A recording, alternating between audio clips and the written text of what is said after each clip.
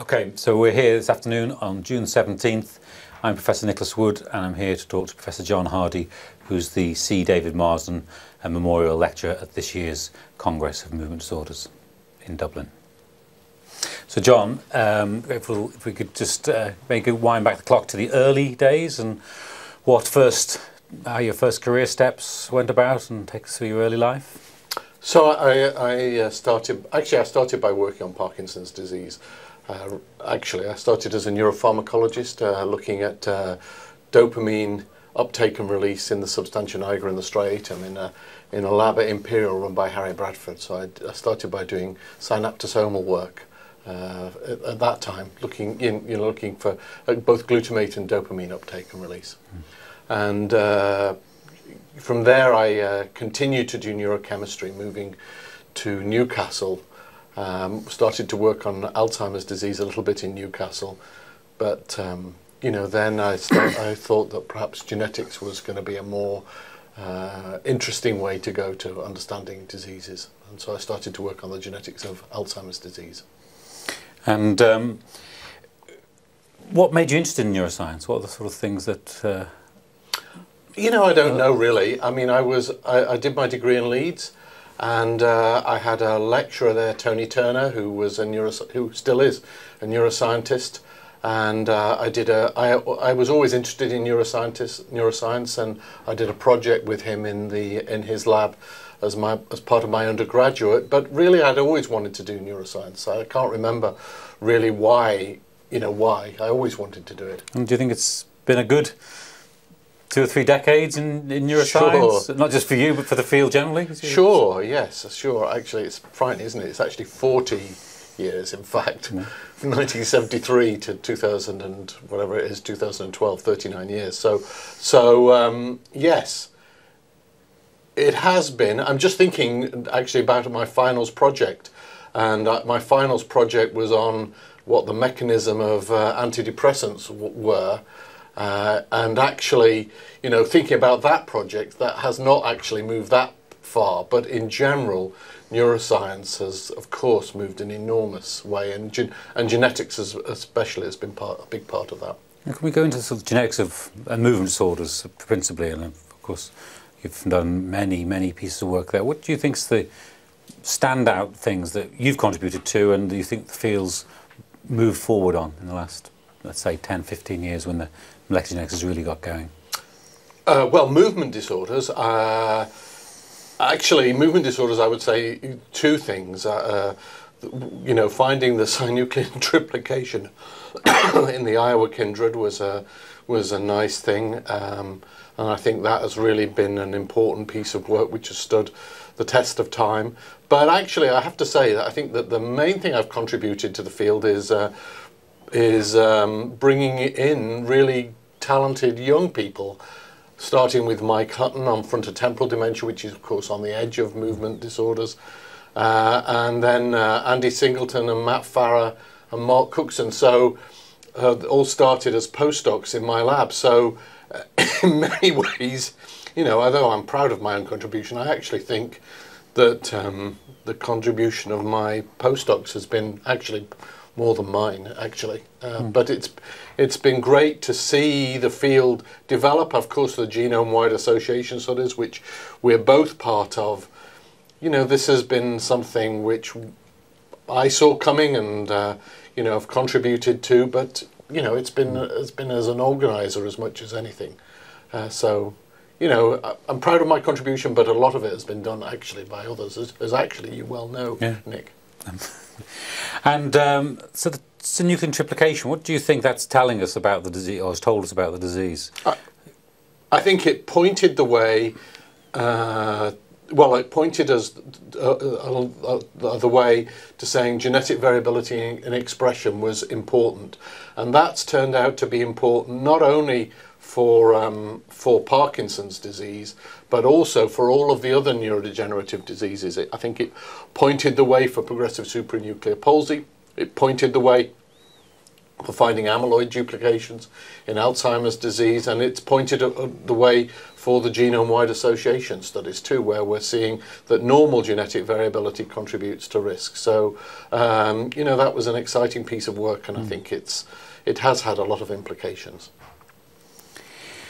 And did, how far? Where do you think we're going to? Uh, where, how far we're going to get along with finding genes, as you and I know, is now becoming, I won't say easy, but easier than it was. Um, are we near the end of a certain road before going to another one? I think we we are. I think we are coming to certainly for the Mendelian disease, as you and I have discussed many many times actually in our own lab meetings. Are, are there many other Mendelian genes to find? I think that there uh, are probably no. Well, I think there's no fully penetrant autosomal dominant genes to find. There might be um, impenetrant nearly autosomal dominant genes to find still. I think there are going to be a few rare recessive mm. uh, genes still to find. Uh, the genome-wide association studies have, have, acquired an enormous momentum uh, and they will find risk variants, but we're reaching the end of doing that because the, you know, obviously we've now, we're now analyzing 20,000 samples uh, and the next stage will be to uh, analyze 60,000 samples and that sort of, and I'm not sure it's going to be worth doing that in terms of the bang for the buck mm. and the analysis time. So that road is, is coming to an end. Then as we've been discussing, and we will discuss at this meeting, exome sequencing is going to find other things like glucocerebrosidase, but not that many things perhaps. So I think that the era of of, of that type of genetic analysis is coming to an end. It's going to take us a long time to work out how genes might interact with each other. That's going to take us a long time. Uh, but I think that the major push now is going to be on cell biology. And I think that the it, it's clear that that's where the, the hold up is. Yeah, you think that's where the logjam is, is, is how we, because we suddenly get off a super highway of finding genes to I don't know to anal- put the analogies, but something rather slow to exactly. make it, to knock out a gene in a cell model, make a mouse model, and so forth. I mean, yeah. we've got 15 Mendelian genes for PD about. We've got 20 or 30, 20 or 30 genome-wide association hits. Let's say there's another three or four besides glucocerebrosidase of high-impact rarer variants. That's 40. Let's say that we're going to end up with 40 genes to analyze. And, you know, looking at Alzheimer's disease, we've had thousands of people working on APP for 30, 30 years. We've now got 40 genes to work on. This is an enormous amount of work. And that's where, the, if I was a young professor, a young uh, assistant professor coming in now, I would, I, that's where I would be. That's what I would do. I wouldn't, I wouldn't do genetics now if I was a young guy coming in. Picking up on that point then, if we talk about the challenges, um, one thing I did want to ask you was the challenges to the, the youth now coming in, partly intellectual we talked about there, but also career planning, you know, the funding strata, the situation we find ourselves in. You know, what kind of advice would you give to somebody, maybe both academic, like the one we just talked about, but other things as well? How would you feel for a young professor now or assistant professor? It's a very tough it's very very tough as as you know well too i mean i was a lecturer in 90 when so i was an assistant professor i got my assistant professorship in uh, when i was 30 years old i can't imagine anyone getting assistant professorships now and with an assistant professorship came some measure of security so we have as you well know large numbers of very talented people who are in their typically in their early 30s who are looking to set up their own labs. And yet the bar for that, for getting funding for your own independence is extremely high. And it makes their lives very difficult because work, the type of work that we do involves large, large consortium and yet, consortia, and yet they are expected to have first author papers in major journals um, this makes it very difficult for them. That to get good data, they have to be in large consortia, and yet to be appreciated for, for that good data, they have to have first author papers. That's a very difficult circle, circle square to circle. Uh, it's very difficult for them. Uh, what they need to find is rich well-funded groups which they can gradually bud off, and that's the only way of doing it. I can't imagine uh, a young lecturer starting in a university uh, with no background, for example, in Parkinson's disease and being successful. What they have to do is they have to kind of um, be in part of a large group and gradually bud off and take them, mm. put some of the work with them. But it's a very, that's a very tough thing to do. Very tough. And if I was say, so genetics finding things, I think we both agree finding genetic variants is, you know, we're coming off the final bend or something. But what would you, would you be thinking about genomic technologies for if you were a professor, if you wanted to do, if you didn't want to do cell biology, and you did want to stick around RNA, DNA, or proteins, what do you think the action is going to be in the well, next five I mean, or ten years? Uh, so two two things. One thing we're doing, and the other that we're not, and we've just briefly mentioned already.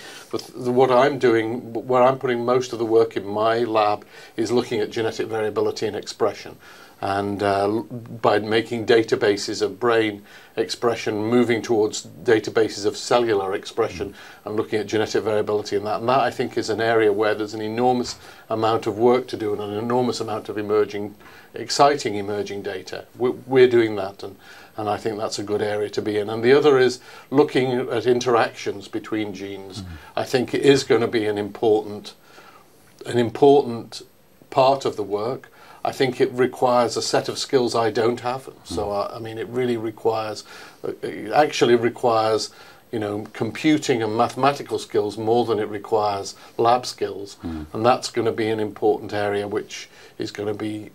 I think I would really encourage people to, to, to take on, and I'm encouraging for people in my group to think about that area.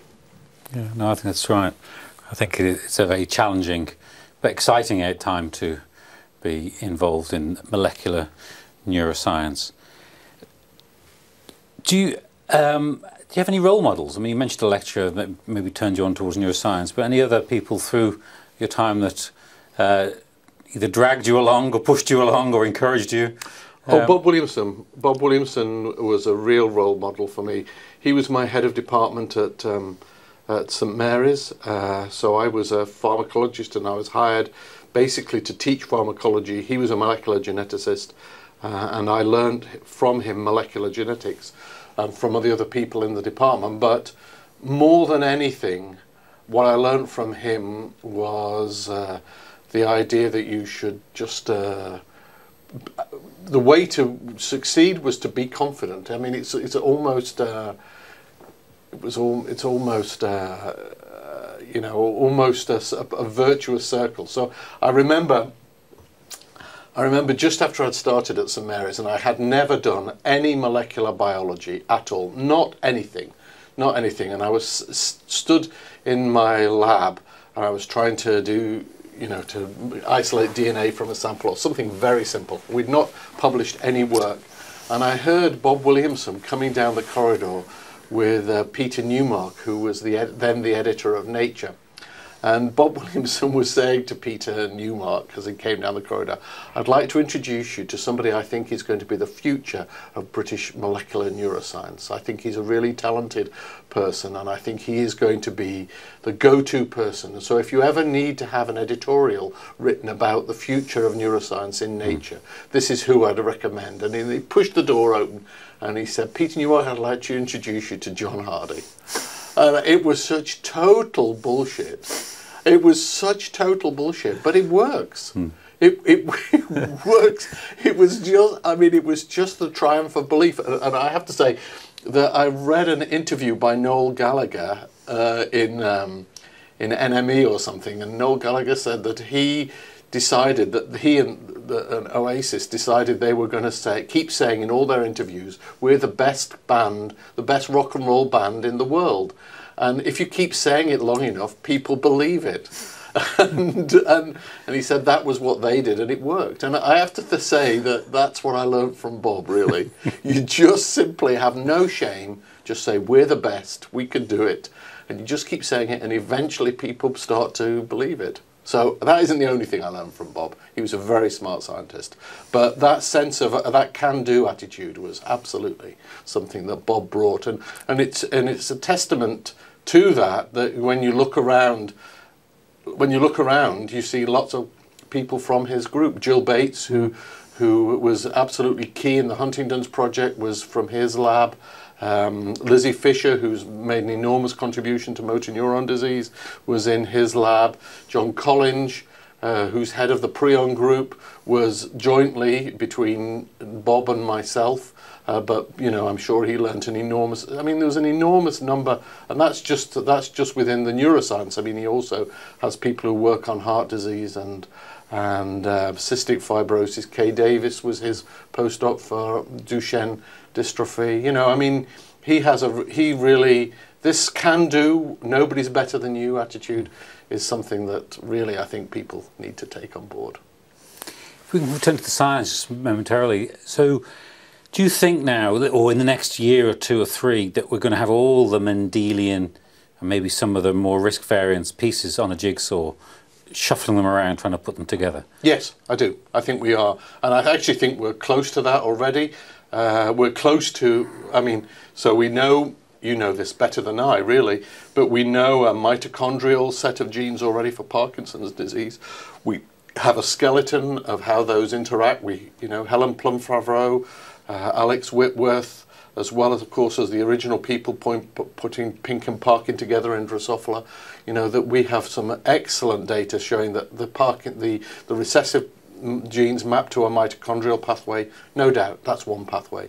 Then we, of course, because of um, glucocerebrosidase mutations, ATP13A2, that already brings in lysosomes. We, there must be a lysosomal component to this and there's work that uh, you and I both know about uh, implicating perhaps LRRK2 in, in a related pathway. So we're beginning to see uh, perhaps mitophagy and autophagy, mitophagy in the recessive diseases and autophagy more generally as being part of the uh, process. So I think this is very exciting and I think that those pathways will be nailed down further in the next couple of years. And I mean, we write grants and we always write in our grants something along the lines of it's only by discovering and understanding molecular pathways will we get more rational therapy. And of course it is therapy. This is a disease, Parkinson's we talk about principally, that we help symptomatically and have been able to for 40 years and some very good treatments, but not, nobody yet can influence the course of the disease. Are you optimistic uh, for that that they will now make rational steps into slowing down the process of this disorder? I, I am optimistic, I'm, but I would say cautiously mm. optimistic. Of course, the disease which is furthest along this pathway is Alzheimer's disease, where the same approach, finding um, the amyloid gene and finding the presenilin genes and mapping an amyloidogenic pathway to the autosomal dominant disease has led to amyloid therapies. Those amyloid therapies are being tested now and they report later this year, so in October and November 2012. They have the same logic as the therapies we want to get for Parkinson's mm. disease. I think that if those if if those start to show signs of working, then I think we'll really be confident that we're on the right road. If they don't, I think that we will face a period of uncertainty and it'll be difficult to know it'll be difficult to know. I mean, I think that uh, we just simply won't know what the way forward is going to be. I mean, I, I, think that we, we have to believe that rational approaches are the right mm. approaches, but it's going to it's going to give us a, a crisis in confidence if those don't work.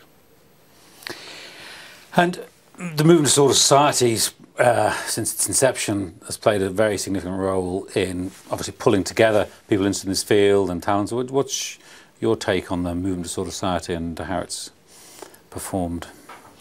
In, uh, you know, that's an unexpected, a totally unexpected question. I have been a member of the Movement Disorder Society.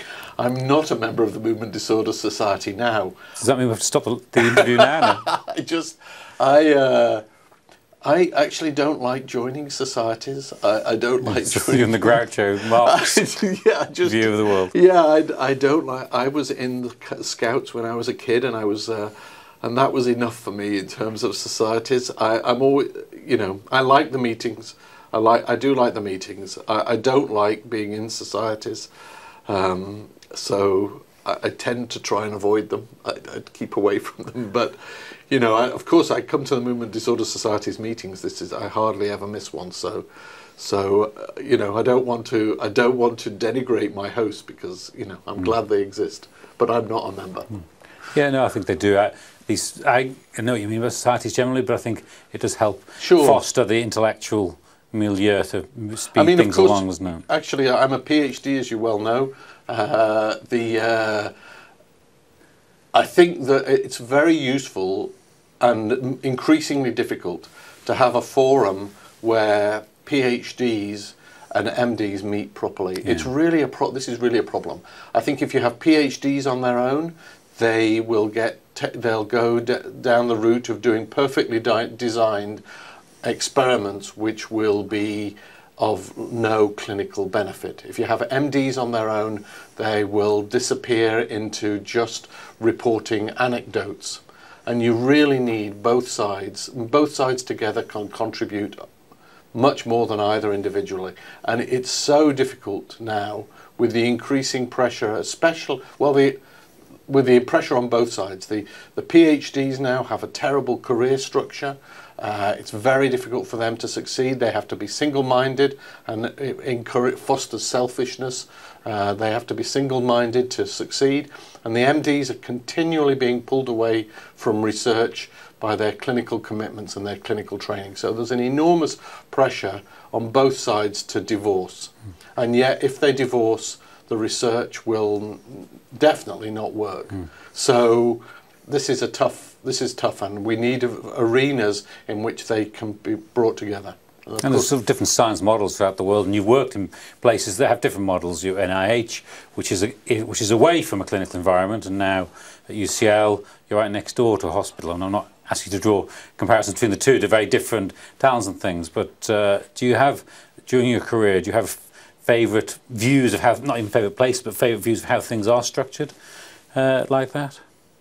I think, you know, I love. Uh, we are very lucky, both you and I, Nick, we're very lucky. Uh, NIH is, was fantastic because of the resources. It was fantastic because of the resources. UCL is fantastic, and Queen Square is fantastic because of the clin clinical samples that it mm. brings. We are extremely lucky, you and I particularly, because we can, you know, leverage one with the other. We have very good ties to the NIH labs. So we can leverage our samples to their money to some extent, and that's a very good way of doing it. And and uh, you know we get very talented young clinicians come through UCL who we manage to partly train at NIH and partly train within with you know at, at, within our own labs. So that's a very good way of. We're very lucky to be able to do that, and that's a good system. It's very every. It's very difficult to do it all on one side. Yeah. I mean, it's very difficult to generate, as you know, the enormous amount of money that you require for genetic analysis mm. now. And on that point, what I want th things I wanted to point out, and I know you, there's things you feel quite strongly about, and I have to say I, I completely agree with you, and uh, you've helped frame my thinking on this, is about open access to data once it's generated. I mean, do you, I mean, is that a good thing? I think I know the answer to that, what you're going to say there, but, but why is it a good thing? And is it speeding up progress in the field by, make, by data sets being, once the, the, the scientist who's generated them has had their chance to write them up and score the goal, if you like, uh, they make them publicly available. Sure. And, you, and let's, I mean, let's, t- t- you know, so we're looking for, for hits within sequence data, and no doubt we'll find, let's call it the primary hit.